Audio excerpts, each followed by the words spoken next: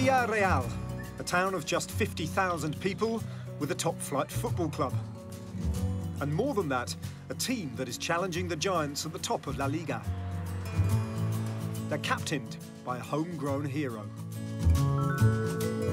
I've always played here.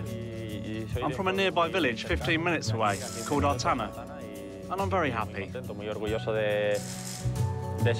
I'm really proud of being the captain. First of all, that was for the B team, and now the captain of the first team. For me, it's an honour. I think Villarreal has improved year after year. I've always identified a lot with this club, with the presidents, with the way we work, with how we do things. I think I play for a very important club. In that respect, I consider myself to be in one of the main clubs in Spain. So I'm comfortable here and have the ambition to carry on achieving. A defensive midfielder, Bruno Soriano, would be a regular in most national teams around the world.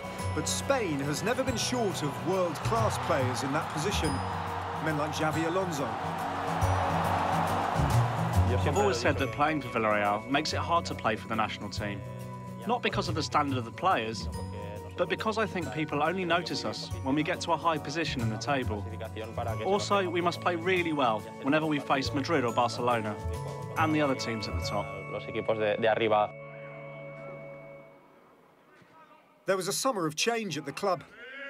Among the new signings, highly rated Spain under-21 international Samu Castillejo moved from Malaga. In the end, it was a very hard decision. A decision that I had to make with my family and with my advisors. And well, in the end, I think it was the right thing to do. Especially considering the place I came to. It's a very family-orientated club. You feel very wanted all the time, both by the fans and by the club. And well, I hope I'll adapt quickly.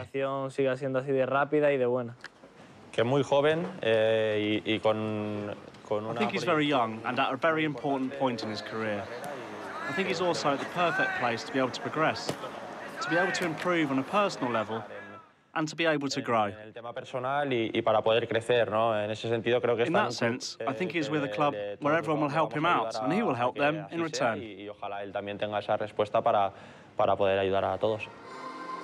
And the arrival of Spain international Roberto Soldado was a real statement of intent. For us, he's a striker who's had great success in Spain.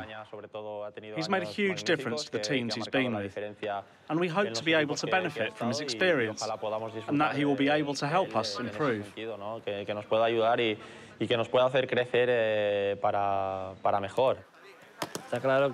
It's clear that his name says it all. You can't question his record in Spanish football. He's very hardworking, very professional, and his example makes you analyse yourself and want to do better. He has shown that he is a great player and will help us a lot this year.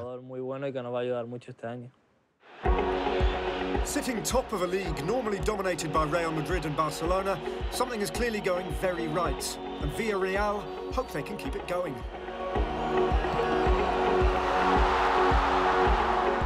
Hopefully it's not just about two teams, because that way we can all enjoy it a bit more.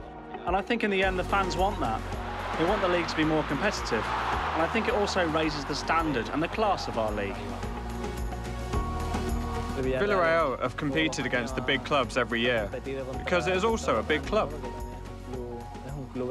There are many teams trying for a place in the Champions League, and we will definitely try to be there too. We'd never say that we don't want to be there. We definitely want to, but it's hard. And we will try to show our qualities day after day and match after match.